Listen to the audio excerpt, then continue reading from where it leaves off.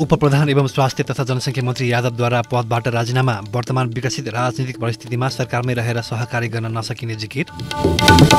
नारायणी नदीमाथि निर्माण हुने सिग्नेचर ब्रिजको प्रधानमन्त्री दाहालद्वारा शिलान्यास नीति तथा कार्यक्रम र बजेट मार्फत उत्पादन वृद्धि तथा रोजगारी सृजना गर्ने विशेष कार्यक्रम घोषणा गरिने भनाई। इन्डोनेसियामा आएको बाढीका कारण सैँतिसजनाको मृत्यु अठारजना बेपत्ता। र ललितपुर मेयर्स कप महिला क्रिकेट प्रतियोगितामा बागमती प्रदेशले दियो एपिएफलाई चौहत्तर रनको लक्ष्य एपिएफ जवाफी ब्याटिङमा। नमस्कार कान्तिपुर डायरीका साथमा सहकर्मी सुनिता र म रमेश समाचार अब विस्तारमा। उपप्रधान एवं स्वास्थ्य तथा जनसङ्ख्या मन्त्री उपेन्द्र यादवले पदबाट राजीनामा दिनुभएको छ। उहाँले आज प्रधानमन्त्री पुष्पकमल दाहाललाई राजीनामा बुझाउनु भएको हो। जनता समाजवादी पार्टी नेपालका अध्यक्ष समेत रहेका यादवले वर्तमान विकसित राजनीतिक परिस्थितिमा सरकारमै रहेर सहकार्य गर्न नसकिने जिकिर गर्नुभएको छ। यादव दुई महिना अघि स्वास्थ्य मन्त्री बन्नुभएको थियो। उहाँ नेतृत्वको पार्टी जनता समाजवादी नेपाल विभाजन भएपछि यादवले राजीनामा दिनुभएको हो। केही दिन अघि यादव विदेश भ्रमणमै रहेका बेला जसपा नेपाल विभाजित भएको थियो। विभाजनपछि बनेको अशोक राई नेतृत्वको जनता समाजवादी पार्टी समेत सरकारमा रहेको छ। प्रधानमन्त्री पुष्पकमल दाहालले नारायणी नदीमा निर्माण हुने सिग्नेचर ब्रिजको शिलान्यास गर्नुभएको छ। महेन्द्र राजमार्ग अन्तर्गत गैडाकोट र नारायणगढको बीचमा रहेको नारायणी नदीमा नयाँ निर्माण हुने पुलको प्रधानमन्त्री दाहालले आज शिलान्यास गर्नुभएको हो। आगामी तीन वर्षसम्म पुल निर्माण भइसक्ने पुल महाशाखाका प्रमुख ललिजन खनालले जानकारी दिनुभयो। चार सय बिस मिटर लम्बाइको पुल बाह्र मिटर फराकिलो हुनेछ। पुलमा साइकल लेन समेत हुने उहाँले जानकारी दिनुभयो। एक अर्ब अडसठी करोड लागत रहेको सो पुल तुङ्दी कन्स्ट्रक्सन प्रणालीले निर्माण गर्ने भएको हो। हाल नारायणी नदीमा रहेको पुलदेखि उत्तरतर्फ पुल बन्न लागेको हो। पुलको दुई ठाउँमा टावर राखिनेछ। दुईवटा पिल्लर रहने सो पुलको मुनिबाट पानी जहाज सञ्चालन गर्न सकिनेछ। प्रमुख प्रतिपक्षी नेपाली कंग्रेसको आज बस्ने भनिएको संसदीय दलको बैठक स्थगित भएको छ। सिंहदरबारमा दिउँसो दुई बजे बस्ने तय भएको बैठक भोलि बिहान नौ बजेसम्मका लागि सारिएको कंग्रेसका सांसद रामहरि खतिवड़ाले बताउनुभयो। सरकारले बजेटको नीति तथा कार्यक्रम प्रस्तुत गर्ने तयारी गरिरहँदा कंग्रेसले भने सहकारी ठगी प्रकरणमा संसदीय छानबिन समिति नबनेसम्म सदनको काम कारवाही अघि बढ्न नदिने चेतावनी दिएको थियो। सोही विषयमा औपचारिक निर्णय गर्न संसदीय दलको बैठक डाकिएको थियो तर प्रधानमन्त्री पुष्पकमल दाहालले संसदीय समिति गठनको विषयमा टुङ्गोमा पुग्न थप समय माग गरेकाले आजको बैठक स्थगित गरिएको सांसद खतिवड़ाले जानकारी दिनुभयो। कोशी प्रदेशका मुख्यमन्त्री हिक्मत कुमार कार्कीले प्रदेशसभाबाट आज विश्वासको मत लिँदै हुनुहुन्छ। प्रदेश राजधानी विराटनगरमा बस्ने प्रदेशसभा बैठकमा मुख्यमन्त्री कार्कीले विश्वासको मतको प्रस्ताव प्रस्तुत गर्ने र त्यसलाई निर्णयार्थ पेश गर्ने कार्यसूची छ। एमाले कोशी प्रदेश संसदीय दलका नेता समेत रहेका कार्की गत बिहिबार मुख्यमन्त्री नियुक्त हुनुभएको थियो।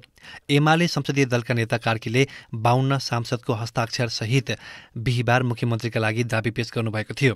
तिरानब्बे सदस्यीय कोशी प्रदेशसभामा बहुमतका लागि सत्तालिस सदस्यको समर्थन आवश्यक छ। एमालेका चालिस माओवादी केन्द्रका तेह्र र जसपा नेपालका एकजना प्रदेशसभा सदस्यको समर्थन रहेकाले मुख्यमन्त्री कार्कीले विश्वासको मत पाउने निश्चित छ। जनकपुरको एक बैङ्कबाट सहकारी संस्थाको अस्सी लाख रुपियाँ लुटिएको घटनामा संलग्न दुईजनालाई प्रहरीले पक्राउ गरेको छ। जनकपुर उपमहानगर एघार तुमौना स्थित शुभश्री बचत तथा ऋण सहकारी संस्था रघुनाथपुरको अस्सी लाख रुपियाँ गत वैशाख चौध गते लुटपाट भएको थियो। जिल्ला प्रहरी कार्यालय धनुषाका अनुसार जनकपुर तेह्रको प्रगति नगर बस्ने पचपन्न वर्षका वीरेन्द्र महतोले हिमालयन बैङ्कको जनकपुर शाखाबाट अस्सी लाख रुपियाँ झिकेर फर्कदै गर्दा लुटपाट भएको थियो। पक्राउ परेका दुवैजनाको नाम भने खुलाइएको छैन। उनीहरूको साथबाट चौध लाख त्रिपन्न हजार रुपियाँ बरामद भएको प्रहरीले जनाएको छ। कान्तिपुर डायरीमा अब ब्रेकको पालो। ब्रेकपछि कान्तिपुर डायरीमा अब अन्तर्राष्ट्रिय प्रसङ्ग इन्डोनेसियामा आएको बाढीका कारण सैँतिसजनाको मृत्यु भएको छ अठारजना बेपत्ता भएका छन्। इन्डोनेसियाको पश्चिमी क्षेत्रस्थित सुमात्रा टापुमा आएको बाढीले ज्वालामुखीबाट निस्किएको चिसो लाभा भगाउँदा उनीहरूको मृत्यु भएको बिबिसीले जनाएको छ। गत शनिबार लामो समयसम्म परेको भारी वर्षाले ज्वालामुखीबाट बनेको खरानी र चिसो चट्टान बगाएको हो। चिसो लाभा तथा माटो मिसिएको बाढीबाट एक सय बढी घरमा क्षति पुर्याएको छ। ज्वालामुखीबाट निस्किएको पदार्थ बाढीले बगाउँदा मेघगर्जन जस्तो आवाज आएको र सोही पदार्थ घरहरूमा ठोकिँदा क्षति पुगेको स्थानीयलाई उद्धित गर्दै बिबिसीले जनाएको छ।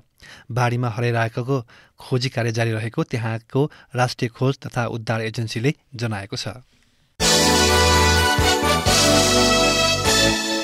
इजरायलले गाजाको रफाहमा गरेको सैन्य आक्रमणका कारण तीन लाख सर्वसाधारण विस्थापित भएका छन्। रफाहमा इजरायलले हवाई तथा स्थलगत आक्रमण गर्दा केही सर्वसाधारण घाइते भएको समाचार संस्था अल जजिराले जनाएको छ। यस्तै गाजाको उत्तरी क्षेत्रमा रहेको जवालिया शरणार्थी शिविरमा समेत इजरायलले हिंसात्मक गतिविधि शुरू गरेको छ। यसैबीच इजरायल विरुद्ध दक्षिण अफ्रिकाले अन्तर्राष्ट्रिय अदालतमा दायर गरेको मुद्दामा इजिप्टले समर्थन गर्ने भएको छ।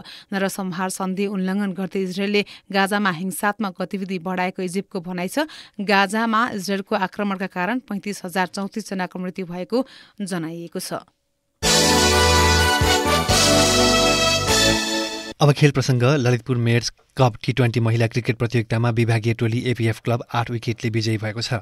बागमती प्रदेशले दिएको चौहत्तर रनको लक्ष्य एपिएफले एघार ओभरमा दुई विकेटको क्षतिमा पूरा गरेको हो। एपिएफको जितमा ममता चौधरीले नट आउट पैँतिस रन बनाइन् इन्दु वर्मा सत्र रन बनाएर आउट भइन्। यसअघि किर्तिपुर स्थित त्रिवी क्रिकेट मैदानमा पहिला ब्याटिङ गरेको बागमतीले निर्धारित ओभरमा छ विकेटको क्षतिमा त्रिहत्तर रन मात्र बनाएको थियो। बागमतीका लागि हेलिसा गुरुङले सर्वाधिक एकतिस रन बनाइन् अन्य खेलाडीले राम्रो प्रदर्शन गर्न सकेनन्। एपिएफका लागि करुणा भण्डारीले सर्वाधिक चार तथा सीताराम मगरले दुई विकेट हात पारिन् यस्तै आज हुने दोस्रो खेलमा सुदूरपश्चिम प्रदेश र कोशी प्रदेश बीच प्रतिस्पर्धा हुनेछ। यी दुई टोली बीचको खेल दिउँसो साढे एक बजे सुरु हुनेछ। सुदूरपश्चिमले आफूले पहिलो खेलमा ललितपुर मेयर्स एघारलाई सोह्र रनले हराएको थियो। आर्सनल इङ्ग्लिस प्रिमियर लिग फुटबलको शीर्ष स्थानमा फर्किएको छ। आर्सनलले म्यान्चेस्टर युनाइटेडको घरेलु मैदान ओल्ड ट्राफोर्ड स्टेडियममा उसैलाई एक शून्य गोलले पराजित गर्दै शीर्ष स्थानमा फर्किएको हो। यो जितसँगै आर्सनलले उपाधि दौडको अन्तिम चरणमा स्थान सुनिश्चित गरेको छ। आर्सनलका लागि लेआन्ड्रो ट्रोसार्टले खेलको बिसौँ मिनटमा गरेको गोल निर्णायक बन्यो। उपाधि दौडमा एक खेल बाँकी रहेको आर्सनलको छयासी अङ्क छ। पचासी अङ्कसहित दोस्रो स्थानमा रहेको म्यान्चेस्टर सिटीले भने भने दुई खेल खेल्न बाँकी छ। यो हारसँगै युनाइटेडको अर्को सिजन युरोपमा खेल्ने सम्भावना कमजोर बनेको छ। युनाइटेड छत्तिस खेलबाट चौन अङ्कसहित आठौँ स्थानमा छ। जाँदा जाँदै यस बुलेटिनका प्रमुख प्रसङ्गहरू पुनः एकपटक। उपप्रधान एवं स्वास्थ्य तथा जनसङ्ख्या मन्त्री यादवद्वारा पदबाट राजीनामा वर्तमान विकसित राजनीतिक परिस्थितिमा सरकारमै रहेर सहकारी गर्न नसकिने जिकिर। नारायणी नदीमाथि निर्माण हुने सिग्नेचर ब्रिजको प्रधानमन्त्री दाहालद्वारा शिलान्यास नीति तथा कार्यक्रम र बजेट मार्फत उत्पादन वृद्धि तथा रोजगारी सिर्जना गर्ने विशेष कार्यक्रम घोषणा गरिने भनाई। इन्डोनेसियामा आएको बाढीका कारण सैतिसजनाको मृत्यु अठारजना बेपत्ता।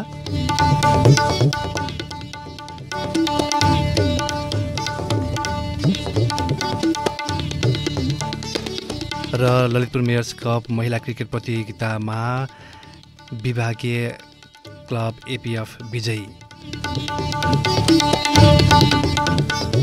यिनी प्रसङ्गसहित मध्याह बाह्र बजेको कान्तिपुर डायरी लिन सकिन्छ। हाम्रो अर्को बुलेटिन तिन बजे कान्तिपुर डायरी हुनेछ। अहिले सहकर्मी सुनिता र म रमेश बिदा हुन्छु। नमस्कार।